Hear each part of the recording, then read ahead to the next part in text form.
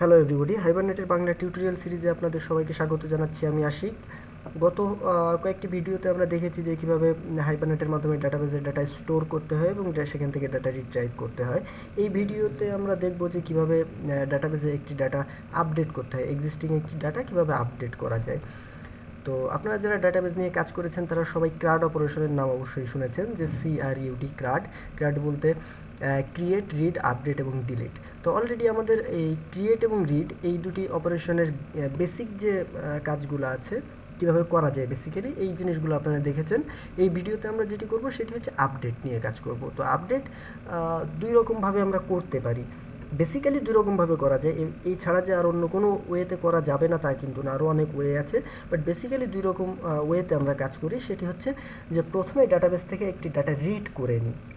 যে কোনোভাবেই হতে পারে। আপনারা গত ভিডিওতে দেখতে পারবেন যে কীভাবে ডেটা রিড করতে হয়। আপনার কোয়েরির মাধ্যমেও করতে পারেন বা ক্লাস নেম দিয়েও করতে পারেন। যে কোনোভাবেই আপনার ডাটাবেস থেকে ডাটা রিড করতে পারেন। তারপর সেই ডাটাটি আপডেট করতে পারেন। সেটারের মাধ্যমে, সেটার মেথডের মাধ্যমে আপনারা তার বিভিন্ন অ্যাট্রিবিউটকে আপডেট করতে পারেন। আপডেট করে তারপর সেশন ডট আপডেট এই মেথডের ভেতর আপনারা সেই অবজেক্টটিকে পাস করে দিলে হাইবারনেট করবে কি? এই ডাটা আপডেট করে দিবে।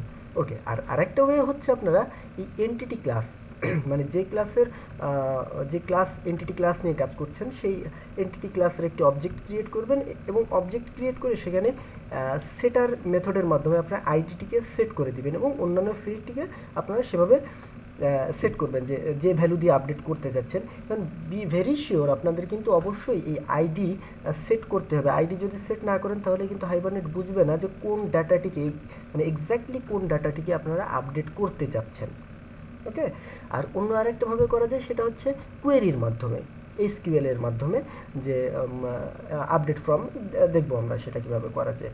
তো বেসিক্যালি এই দুইটা ওয়েতে আমরা কাজ করব। তো চলুন আমরা দেখে আসি যে কীভাবে সেই কাজটি করা যায়। তো গত ভিডিওতে আপনারা দেখেছেন যে কীভাবে হাইবারনেটের মাধ্যমে একটি ডাটা রিড করতে হয় ডাটাবেস থেকে, তাই না? তো এই যে আমরা এই যে ওয়েটা, ক্লাস নেম দিয়ে, এই ওয়ে দিয়ে আমরা আপাতত কাজ করছি পরবর্তীতে আমরা আরও দেখব কীভাবে কাজ করা যায়।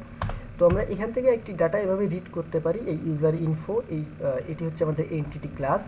এই এনটিটি ক্লাসের ভেতর কি ফিল্ড আছে আপনার লং টাইপের হচ্ছে প্রাইমারি কি আইডি তারপর আছে স্ট্রিং হিসেবে ইউজার নেম পাসওয়ার্ড এবং ইমেইল ওকে তো আমরা এখান থেকে একটি ডাটা রিড করে আনলাম এবং ডাটাবেজে আমাদের কিন্তু এই ডাটাগুলো সব আছে। এখানে অনেক বেশ অনেকগুলো ডাটা আছে। তো এখন আমরা যে ডাটা নিয়ে কাজ করতে যাচ্ছি এই ডাটাটিকে এবার আপডেট করব। তো কীভাবে আপডেট করব? ইউজার ইনফো ডট সেট আমরা এখানে কি করলাম? ফর অ্যান এক্সাম্পল পাসওয়ার্ড পাসওয়ার্ডটা আমরা কি করলাম? চেঞ্জ পাসওয়ার্ড দিয়ে দিলাম এবং এখানে ইউজার নেমটিকেও আমরা ইউজার নেমটিকেও আমরা চেঞ্জ করে দিলাম। ওকে তাহলে আমরা পাসওয়ার্ড এবং ইউজার নেম এই দুটি ফিল্ডকে আপডেট করতে চাচ্ছি। তো আপডেট করে তারপর কি করব আমরা? সেশন ডট আপডেট এখানে আমরা কি করব? এই যে ইউজার ইনফো আছে, এই ইউজার ইনফোকে পাস করে দিব। পাস করে দিলে কি হবে? সেশন আমাদের এই যে ডাটাটি আছে, এই ডাটাটিকে আপডেট করে দিবে। ফাইনালি কি হবে? এই যে ট্রানজ্যাকশান আমরা কমিট করে দিব। ওকে তো চলুন, আমরা আগে ডাটাবেস থেকে দেখে আসি যে দুই নাম্বার যে ডাটাটি আছে আমাদের, এই দুই নাম্বার ডাটাটি কিন্তু এই যে দেখুন প্লেইন ডাটা এখানে কিন্তু কোনো চেঞ্জ নাই। ঠিক আছে? আমরা যে রিফ্রেশ করলাম, দেখুন, এই যে test underscore password underscore two এবং test underscore user name underscore two okay এবার যদি আমরা এটিকে রান করি, এই প্রজেক্টটিকে তাহলে দেখা যাক কী হয়। এই যে দেখুন, সে কিন্তু এই যে ফার্স্টে সিলেক্ট করেছে সিলেক্ট করার পর তারপর এই যে দেখুন, একটা আপডেট কোয়েরিও ফায়ার করছে সে। কেন? কারণ সে আপডেট করতে পেরেছে সাকসেসফুলি আমরা ডাটাবেজে এবার যদি রিফ্রেশ করি, তাহলে দেখুন এই যে চেঞ্জ পাসওয়ার্ড এবং চেঞ্জ ইউজার নেম এভাবে আমরা অন্য ডাটার ক্ষেত্রেও কিন্তু আমরা করতে পারি। এই যে এখানে যদি আমরা ফাইভ দিয়ে দিতাম, তাহলে কিন্তু সে পাঁচ নাম্বার ডাটাটিকে আপডেট করে দিত। ঠিক আছে? আচ্ছা চলুন, এই যে দেখুন, এখানে এবার আমাদের এই যে পাঁচ নাম্বার ডাটাটিকে কিন্তু সে আপডেট করে দিয়েছে। এবার আমরা চলুন, আট নাম্বার ডাটাটি এই ডাটাটিকে আপডেট করতে চাই। তো এটিকে যদি আমরা এখানে এইট এল দিয়ে দিই, তাহলে কিন্তু আট নাম্বার ডাটাটিও আপডেট হবে। তো চলুন, আমরা একটু রান করি। ওকে তো তাহলে এবার আমরা দেখি যে এখানে আট নাম্বার ডাটাটিকেও কিন্তু সে আপডেট করছে।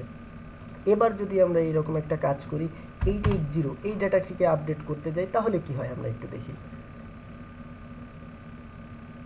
এবার দেখুন, এখানে কিন্তু একটা এক্সেপশন দিয়ে বসে আছে এবং এক্সেপশনটা যে দিয়েছে, এটা হচ্ছে সিলেক্ট কোয়ারি ঠিক পরপর।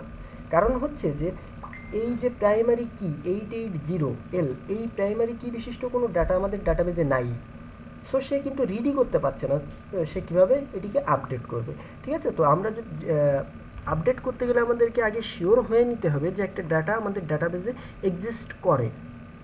ঠিক আছে? তো এবার অন্য মেথডের মাধ্যমে আমরা একটু দেখি যে কীভাবে সেই কাজটি করা যায়। এই যে আমরা দুই নাম্বার যে আমাদের ছিল ক্রিয়েট অ্যান অবজেক্ট এনটিটি ক্লাসের একটি অবজেক্ট ক্রিয়েট করে তারপর আমরা কাজ করতে পারি।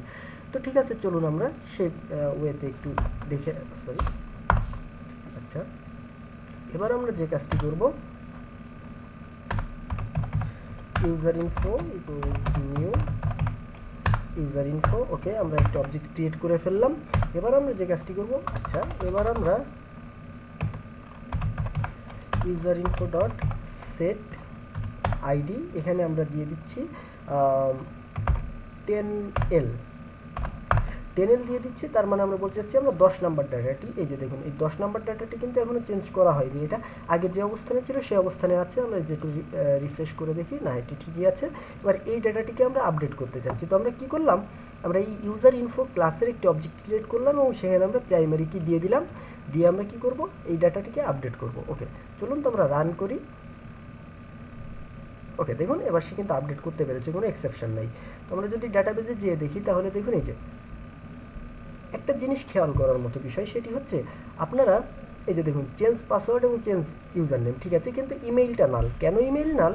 আপনারা যখন এখানে একটা অবজেক্ট ক্রিয়েট করেছেন অবজেক্ট ক্রিয়েট করা অবস্থায় তার কিন্তু অন্যান্য সব অ্যাট্রিবিউট যেগুলো ছিল, সবগুলো কিন্তু নাল অবস্থানে ছিল।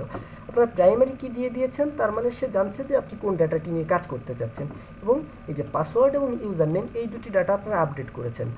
কিন্তু আপনারা কিন্তু এখানে ইমেইল নামে যে একটা অ্যাট্রিবিউট ছিল, এই ইমেইল অ্যাট্রিবিউটটাই যে দেখুন ইমেইল যে অ্যাট্রিবিউটটা ছিল, এই ইমেইল অ্যাট্রিবিউটটা ইনিশিয়ালাইজ করেন নাই। তো যেহেতু ইমেইল অ্যাট্রিবিউটটা ইনিশিয়ালাইজ করেননি সো বাই ডিফল্ট সে কিন্তু নাল অবস্থানে ছিল। দ্যাটস ওয়াই সেখানে নাল ইনপুট করছে। এবার আমরা যদি এই দুটি ডাটা এই দুটি ডাটাকেও যদি আমরা ইনিশিয়ালাইজ না করি, তারপরও দেখুন আমরা রান করলে কি হবে? সে কিন্তু আপডেট ঠিকই করছে, কিন্তু এই ফিল্ডগুলোকে সে সব নাল বানিয়ে দিচ্ছে। যে আমরা একটু রিফ্রেশ করি যে দেখুন নাল আচ্ছা। তো আমরা এবার কি করব? এই যে ডাটা এই ডাটা দুটিকে আমরা আপডেট করব। কিন্তু আমরা যদি প্রাইমারি কি না দিই, তাহলে কি ঘটনাটি ঘটবে? আমরা চলুন একটু দেখে আসি।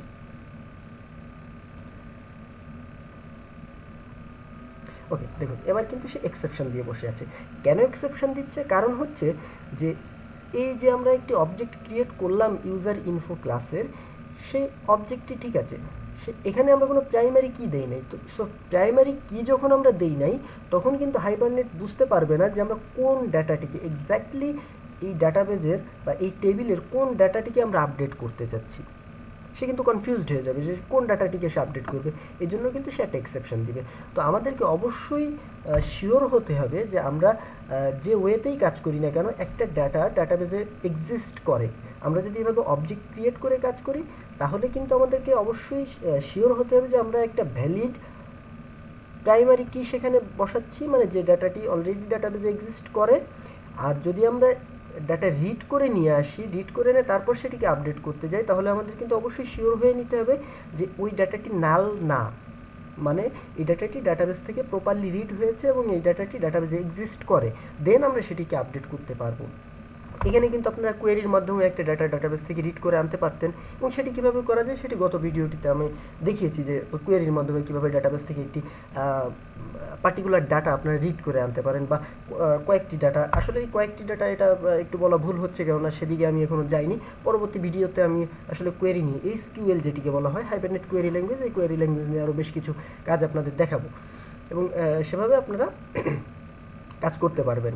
ওকে তো এই ছিল বেসিক্যালি বেসিক অপারেশন আপডেটের অপারেশন এর পরবর্তী ভিডিওতে আমরা দেখব যে কীভাবে ডাটাবেস থেকে একটি ডাটা ডিলিট করা যায়। তো আপনারা যারা প্রোগ্রামিং নিয়ে একটু ঘাটাঘাটি করেন বা একটু ক্রিয়েটিভ চিন্তা করেন, তারা অলরেডি বুঝে ফেলেছেন যে কীভাবে আর কি সেটি ডিলেট করা যায়। এক্স্যাক্টলি আমরা এখানে যে কাজগুলো করেছি সেরকমই। তো পরবর্তী ভিডিওটিতে আমরা আসলে এই বিষয় নিয়ে আলোচনা করব। তো আশা করি ভিডিওটি আপনাদের ভালো লেগেছে। আপনাদের যদি ভিডিওটি ভালো লেগে থাকে, তাহলে লাইক কমেন্ট এবং শেয়ার করুন এবং যদি নতুন নতুন ভিডিও পেতে চান, তাহলে আপনারা চ্যানেলটি সাবস্ক্রাইব করুন। সবাইকে ধন্যবাদ।